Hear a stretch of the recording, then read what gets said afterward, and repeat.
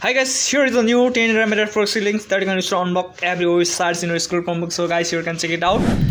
So here you can see the links are available here like that. Here you can see the links. Then here you need to type the URL that like unblock. So let me unblock discord.com.